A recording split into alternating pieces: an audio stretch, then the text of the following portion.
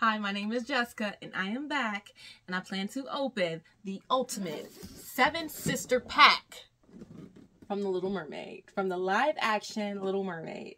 I've been looking forward to this set so much and I've been patiently waiting and I have it.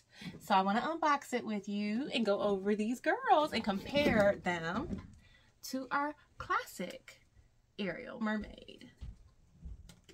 If you enjoy my content, please like, follow, share, subscribe, all of that. Let's get started. So I'm going to show you the packaging first. Here's Ariel with all of her sisters. I really love the details in their fins and the textures that they have fabric tops and they just look so beautiful together. I've never had such a variety of mermaids ever.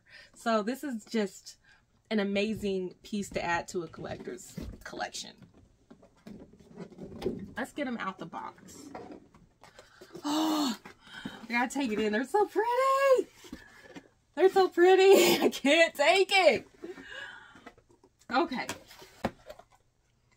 So I also purchased something else the Little Mermaid Guide to Mermaid, Merfolk by, let me get his name, let me get the author's name. I gotta give props to the author, Eric Geron. And this has been my resource to learn a little bit more about the sisters, about mermaid folklore, and I am on page 62. So in the back of this book, there's a little bit more about Ariel and each individual sister. So I'm not there yet, and I don't want to give anybody spoilers, but there's a sheet in here that shows me Ariel, her sisters, and their names. So no spoilers, just the girls. This is Tamika Mala Karina, Ariel, Perla, Indira, and Caspia.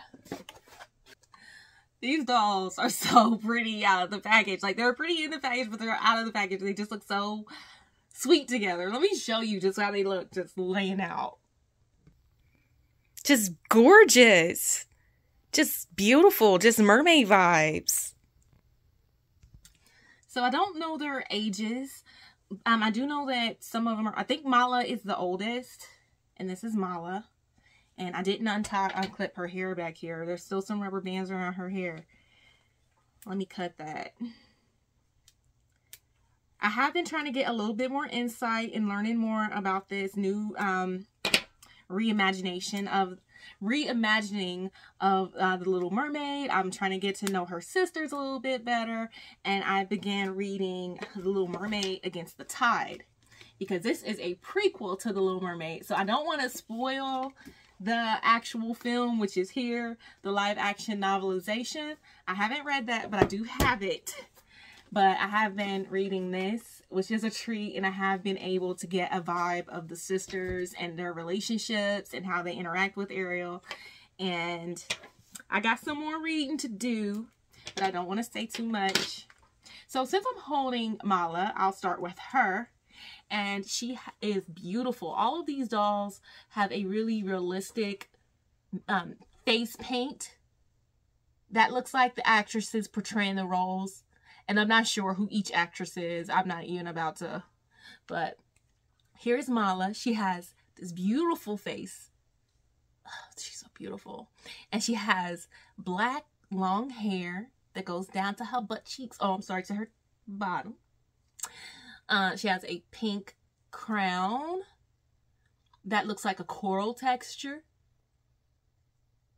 That's attached to her head, which is removable and she the this set has removable tops. So mala has a ruffle here and below her top here the top of her fin is transparent. She can bend she can turn her head. She can move her arms. And she can bend her tail at the waist and at the knee area. The knee area. I'm gonna call it the knee we know it's not a knee but i'm gonna call it the knee and she can bend there and her fins are a fabric with this beautiful ombre design like a sunset. So she's giving me tropical fish. Oh, I just love it. I love these dolls so much. But that is Mala. And the back of this dress attaches, the back of her top attaches with Velcro. The next girl I'm going to pick up is Caspia. Here's Caspia's full body. She has her face paint there and she has a pink eyeshadow. Her eyebrows are a natural light brown and her hair is this very soft pink. The, my fantasy, I'm just living my childhood dreams. I'm so happy I'm a doll collector and I'm so happy I'm alive to see this movie.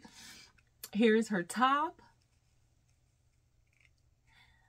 She doesn't have any ruffles, but she does have some texture, like it's very metallic and shiny, and it attaches with Velcro in the back. She does not have the upper fin like Mala does. This transparent fin here, she does not have that. But she is printed all the way down. She has her fabric fin. She has the same articulation as Mala and the other girl. So I'll bend her at the waist and bend her at the knee. And that can twist a little bit too. It has a lot better articulation than our classic Ariel here. Our classic mermaid Ariel. That is Caspia. This is Karina. You know, I might be wrong. I'm not sure who the oldest is. It might be Karina, it might be Mala. I'm not going to say too much because I might be wrong. So here is Karina.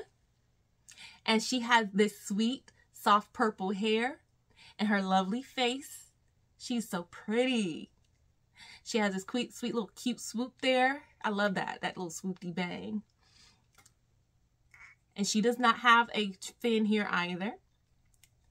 Her, she gives me a very cold feel. She makes me feel like icy, icy with that dark blue and the light blue. Each girl, each uh, daughter represents the seven seas. And this is Karina. There's no detailing on the back of the fins for the mermaids. Here's the back of Mala. And here's the back of Caspia.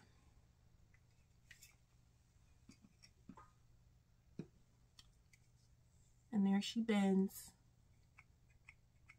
I have Indira. I should know this actress's name, and I'm sorry, I don't. But here she is. This is one of my favorites out of this set. This doll is so beautiful, and the actress is beautiful. All of the actresses they chose for this film, they just did such an amazing job with just so many different cultures involved. I'm really excited to see this film. I'm gonna stop saying that. I'm gonna stop saying it. I'm gonna try. I'm gonna try. But here is Indira. She has brown hair with light blonde highlights. Maybe supposed to be gold. To me, it's giving blonde, golden highlights. Or, and she has. She's giving me tropical fish. She's giving me summer fish with her gold top. She only has one sleeve, and it attaches with Velcro in the back. I really love the designs. Here's at the bottom of her fin. She doesn't have the upper fin either. I like the detail they put in each dog, making sure they're accurate and individual. None of these dolls really look as if they were um, mass produced in a way to where they're just like, oh, different face paint, same body, same body. Each doll is unique to the character. And this is Indira. I believe of the Indian Ocean, or the, I'm, I'm not gonna say because I'm probably wrong. I love her design. Here is Perla. Her hair is teal and black, and it's in a pony, but the pony looks like it should be like a fishtail braid in the back. But there's two individual twists and connected together at a rub- by a rubber band at the end. And I believe if you took her hair down, it would be a lot longer than our other mermaids, but her hair does reach her bottom. Her top is strapless and it's a soft red or maybe a blush red and it's attached with Velcro in the back. Perla does have a blue transparent fin here or the top of her fin, um, the top of her tail design is transparent and blue. And she has that very same articulation. She has spot white spots along her tail and these gorgeous fins. Each shape is a little different with the girls. I just love it. And that's Perla. Another beauty. Oh, she's got her net on. This is Tamika. Let me um, take her hair net off. Oh, these curls, this texture. Oh, yes. Mattel did an amazing job with these dolls. I'm really proud and just, I'm really happy to have this and own this collection. She has so much beautiful hair and she has a, this hair piece is removable. Here's her face. She's got on a little bit more makeup than the other girls. She has a silverish, no, that's a greenish blue eyeshadow. And that's Tamika. Think Tamika's the oldest. You know what? I'm to shut up. I don't know who's the oldest, guys. I don't, I don't know who's the oldest. But here is her top. And it's um, a high collar at the neck, it seems. It's sleeveless. It's got a pointed piece here that anchors down to her waist. And it attaches with Velcro in the back. And these colors are just fantastic. Just gorgeous. Look at her fin. She's tropical fish. She's fire fish. That's just so beautiful. I love that wild variation. And her hair texture. I have very few dolls with this hair texture, believe it or not. They need to do that a lot more. It's so soft and beautiful. All of them have very soft, nice hair.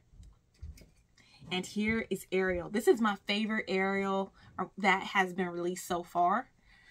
And in here is her comparison to the classic Ariel. Look at that fin. Here's her face. She does have the same face mold as this doll. And unlike her sisters, I feel like her sisters have a lot more of a realistic face paint in comparison that does make her stand out a little bit more to me. But this doll is so pretty. And she does resemble Halle. So I guess they just said, don't mess up a good thing. Just leave it be. Her top is removable. It's strapless. And it has a ruffle at the top. It's like a very soft pink ruffle. I got this at the kitty section. I don't know if I told y'all that already. But yeah, she does have a transparent fin here. her head moves. And her arms have articulation. She bends at the waist and at the knee. Her fin is actually a lot more detailed than the other girls let's be real, Ariel has the best fin in the movie. She has the best. I did feel like she was a little bit uh, lackluster. I don't want to use the word lackluster, but a little bit more basic than the other girls with such wild patterns. But being true to the Little Mermaid and being true to Ariel, this is it. And this fin is beautiful. I think Mattel captured it best. In this form and here. I think these are beautiful fins. So yeah, there's this tulle layer here. And then there's this dramatic detailed area here. And it's so soft. But there's nothing in the back. Nothing. So unlike the classic Ariel doll we have here, they have the same mold. But Ariel does not have the molded top. She has the fabric top. This upper fin is transparent compared to this one, which is the solid green. That's like the bottom of her fin. This is a lot more detailed. And we have a lot more articulation. And I think we even have a little bit more sheen to this tail. But the articulation is a lot better in the fin. Because you could turn it to the side a little bit. And we got that flapping motion. I've been waiting forever for this doll to come out. So this is my favorite. I hope you enjoyed this review. I have more coming for you for more for Mermaid. I have a lot more Ariel stuff that I'm gonna unbox. So stay tuned. Keep an eye out for my content. I hope this was helpful. I do plan on keeping this because I'm gonna display my girls in there somehow. Check out my Froggy stuff. Like she had a really nice video of how she did her decor and how she set up her backdrop for her mermaids. It was pretty neat. I don't think I can do that, but I'll figure something out. I hope you enjoyed this video. My name is Jessica. This is Dollhouse, and I'll see you soon. Peace.